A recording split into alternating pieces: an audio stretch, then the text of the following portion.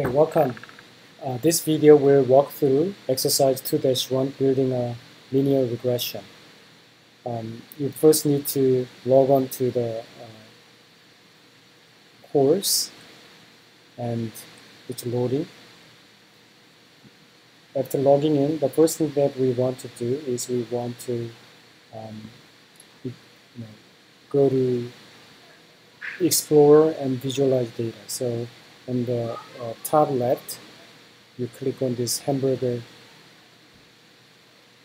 icon and then click on explore and visualize data. And then going, it's going to start a new report and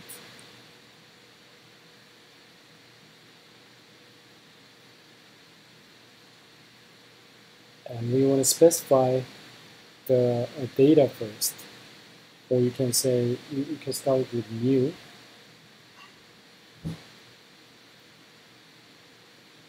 And then let's specify the data.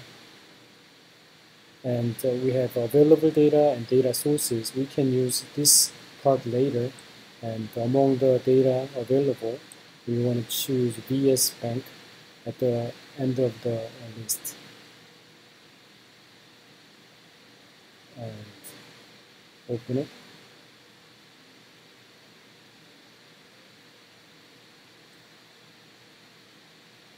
And then um, to run regression, we have to go to object icon. So let's uh, click on the object pane. And then scroll down to find under visual statistics over here we have linear regression. So double click on it or drag it to uh, to the canvas. And then it shows linear regression canvas. And here, uh, the first thing that we want to, because we are going to add data first, let us start running the linear regression. So in the top right, you see this option button, and there's a disable auto refresh. So click on this option.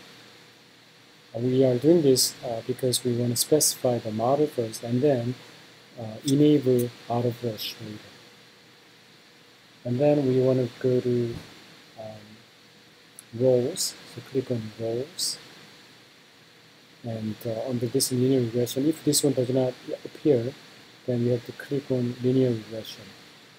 And then response variable, let's add response variable, in other words, the y, the dependent variable. Um, that's a target interval new sales. So you added that and continuous effect or uh, independent variables. We want to add all the log or uh, log the RFM 1 to 12. So you want to choose this one and go to the end of the list and press shift and click on this one and then you have selected 12 variables like this. Click on OK. And we've just added 12 independent variables. And then uh, we want to also add classification effects. Um, we have two categories, account activity level 3 and the customer value level 5 let's add them on the line.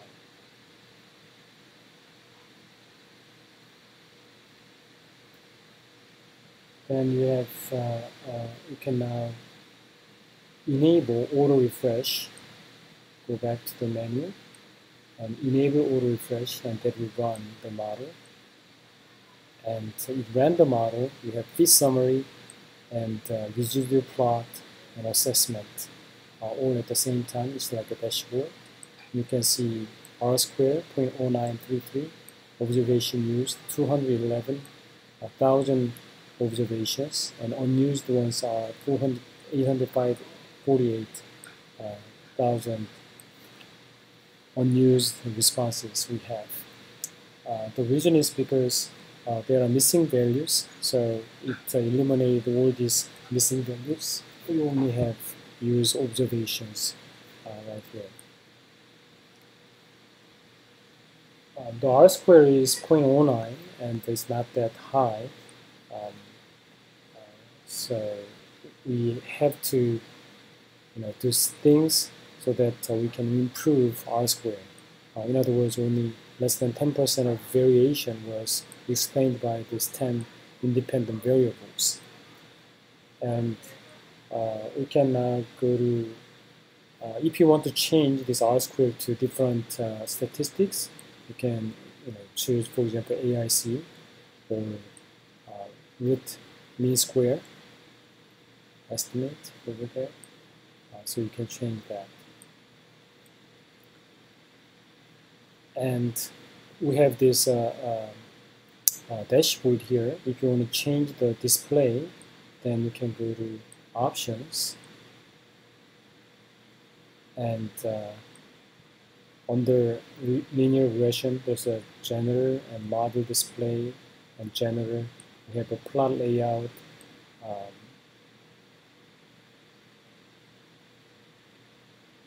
and we can change to a stack, then we can see this one, one by one.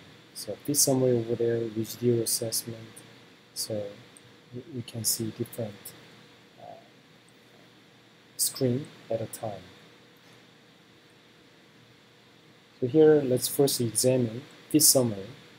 Um, so we see this default line is 0.05, p-value is 0.05. These are independent variables, and uh, these are having power to explain uh, the net sales, the target interval new sales. We see that uh, RFM2, average sales lifetime, is very significant variable. Its p-value is very low, less than 0.001 and uh, average sales past three years, that's also a very significant variable. Sales past three years, customer value level, month since last purchase, count purchase past three years, last product purchase amount, uh, account activity level, and uh, uh lifetime directory promo uh, uh, and customer tenure. These are all important variables. Um, now the rest four variables, uh, count total promos and years directory promo, promotion and, and count purchase lifetime, count direct promos. Uh, these are also significant variables, but uh, uh it's not as significant as the other variables. Now let's examine the residual plot over here. Um, residual plots are important because it gives an idea which variables are uh, not really um, fitting with the regression line. So uh, if it is close to zero, that's a very good sign. However, if it is uh, you know, coming off like this, then it's not a good sign. And as you can see, it seems like uh, as the uh, predicted values increases, the variance is also increasing over there, and we have these outliers over there. So the difference between uh, the predictive value and observation value is so high in this case. So it's uh, not a good sign. So we need to do something about this. And from this residual plot, we can find the two uh, things. The first one is the variance of the residuals seems to increase as a function of the predicted value. Uh, the second as, I, as I've shown you, you know, there's a little trend here that is increasing over there. And there are some very large positive outliers in the residuals. The influence plot can help you to explore the effect of these outliers uh, on the fitted model. So this one, if you choose them like this, then as you can see that they are outliers and we need to do something about them. And uh, if you want to look at what these are, then right click and uh, show selected. Click on it. And it's going to show the selected values. So predicted values targeting to the new sales was uh, about uh, half a million. Predicted value was 37,771. and uh, uh, you can scroll to the right and see all the values over there. So possibly these are outliers and uh, we may need to uh, delete this. Um, so close this and then now let's go to assessment tab and here uh, you can see that uh, the line these line plots show model predictions versus the actual response amount in the data. To create the lines, both outcomes and predictions are binned into percentiles, although the model's predictions seem consistent with responder outcomes over the middle range of the plot. The model seems to underpredict the responses uh, at the high and low end of the response range. So you can see if there are uh, high gaps here, then you, you see that uh, the model is not really fitting uh, the data very well. So let's go to now option and under the influence plot, uh, we want to create influence plot. So let's click on it. And then the moment you click on it, influence plot was created and uh, the top five variables are having very influential. Uh, so let's see what these are.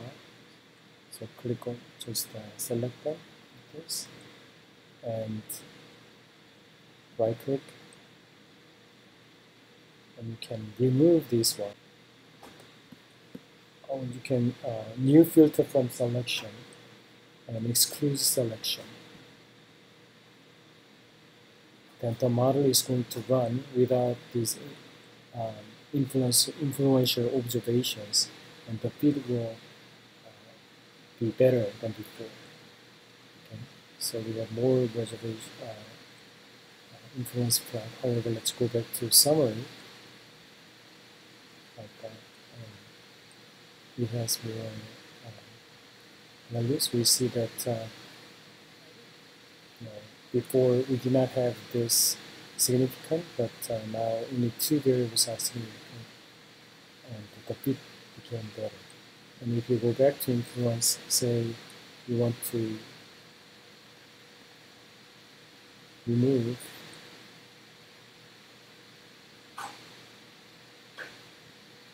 this, then again right click, go to new filter, and exclude selection, and you are removing them and it's running the model again. And uh, feed might get better or might not. So uh, it depends on your situations and you have to be careful about this but uh, when you feel that these observations are really outliers and too influential then you can remove them and then see how, what, how, what happens, what kind of impact it has your model later. And as you can see, uh, the variables become very significant. All of them are very significant right now. Uh, it was significant before, but uh, right now it's uh, all of them are very significant. Okay. So this is how you're going to learn uh, run linear regression.